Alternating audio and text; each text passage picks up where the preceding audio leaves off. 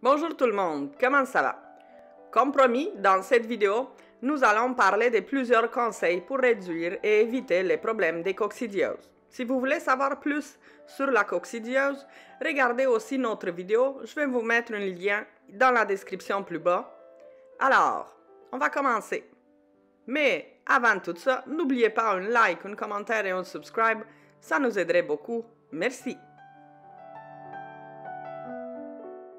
Alors, la première chose que vous devez faire attention, c'est d'avoir un espace où les poules vont vivre, que ce soit les poulaillers et la volière, que ça soit très propre et bien sûr décontaminé après, chaque, euh, cohorte de poules. Donc, si vous voulez plus ces poules-là et pour X raison vous les vendez, euh, alors à la rentrée des nouvelles poules, faites attention et bien décontaminer les lieux.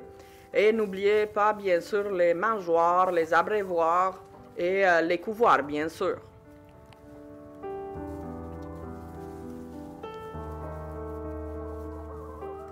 Deuxième astuce, gardez une sol euh, avec une surface qui est lisse, donc une surface à l'intérieur du poulailler où les petites euh, bactéries ne peuvent pas se nicher. Et donc, c'est pour ça que c'est important de choisir des bons matériaux de construction de votre poulailler. Si vous pouvez, remplissez de préférence les joints. Cela va réduire euh, les chances de survie des, euh, des, bactéries et euh, ça va empêcher bien sûr d'autres bactéries et virus de s'y loger. Pendant que vous nettoyez le poulailler, Supprimez également euh, les matières organiques euh, qui sont euh, cachées sur le rebord de la porte, dans le couvoir ou sur les perchoirs. Notre petit truc auquel probablement on pense ou pas nécessairement, ben, c'est effectivement veiller que votre poulailler répond aux besoins de vos poules et donc attention à la densité. Sur un petit espace, vous ne devrez pas avoir beaucoup de poules. Parce qu'une litière euh, qui est humide, donc une litière que ça salit plus souvent, vu le nombre élevé des poules, mais ça représente le milieu idéal pour que euh, les bactéries euh, de la coccidiose se multiplient. Faites attention au niveau de stress que vous infligez à vos poules et ou poulets de. Vérifiez que euh, vos poules aient un espace qui est bien aéré.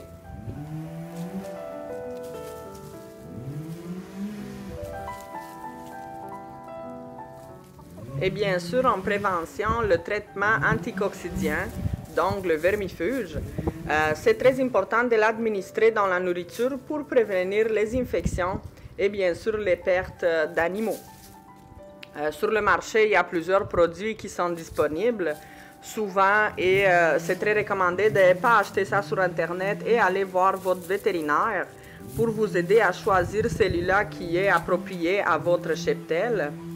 Et euh, souvent aussi, le vétérinaire il va vous indiquer de changer des vermifuges pour éviter le développement de la résistance à cette maladie.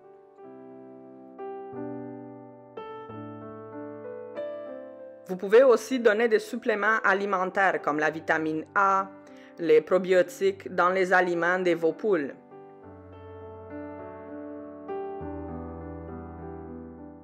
Et bien sûr, la vaccination, c'est très important car les oiseaux développent généralement une immunité graduelle suite aux infections. C'est très important de garder les oiseaux dans un environnement euh, qui a les murs euh, très faciles à nettoyer ainsi que le plancher. Parce que, euh, comme je vous ai expliqué tantôt, les bactéries peuvent s'y loger dans chaque petite craque euh, de votre plancher ou dans chaque petit joint. Et parfois, ben, sans vouloir, on l'oublie quand le ménage est fait. Et bien, vous allez pouvoir contaminer les autres poules.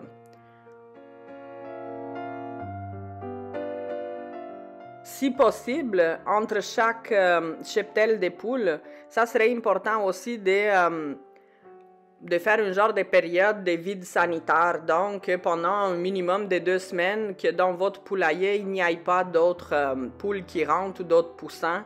Comme ça, vous allez pouvoir nettoyer et désinfecter euh, le tout comme il faut. Et bien sûr, le vide sanitaire permet de réduire la charge parasitaire à l'intérieur de votre poulailler et de votre volière.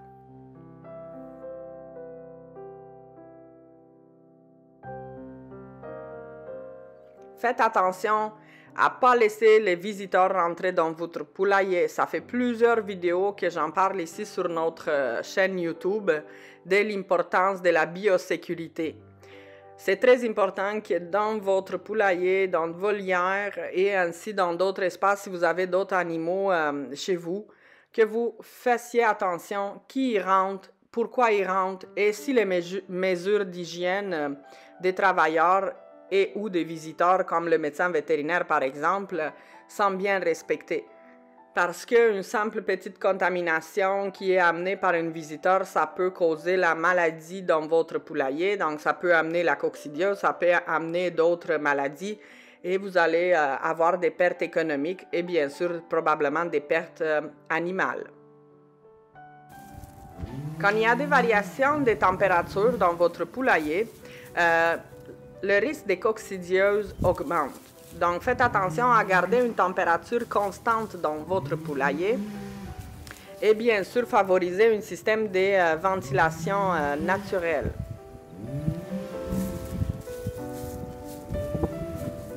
Comme traitement naturel contre la coccidiose, euh, on utilise le vinaigre de cidre. Dans un litre d'eau, on met une cuillère à soupe de vinaigre de cidre non pasteurisé et on fait ce traitement pendant euh, environ une semaine. Le vinaigre, qu'est-ce qu'il fait? Mais il acidifie le milieu gastrique et il détruit le développement des coccides. Et donc, euh, on ne va pas le répéter assez souvent, mais si vous avez des animaux chez vous, faites toujours affaire avec une vétérinaire. Il pourra vous aider, il pourra vous guider euh, pour choisir les bons traitements en prévention ou euh, des traitements des maladies pour vos animaux. Et donc, faites confiance aux médecins vétérinaires. Ils sont là pour vous aider.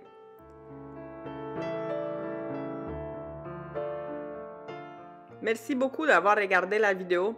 N'oubliez pas, un commentaire, un like et un subscribe, ça nous aiderait beaucoup. Merci. À la prochaine.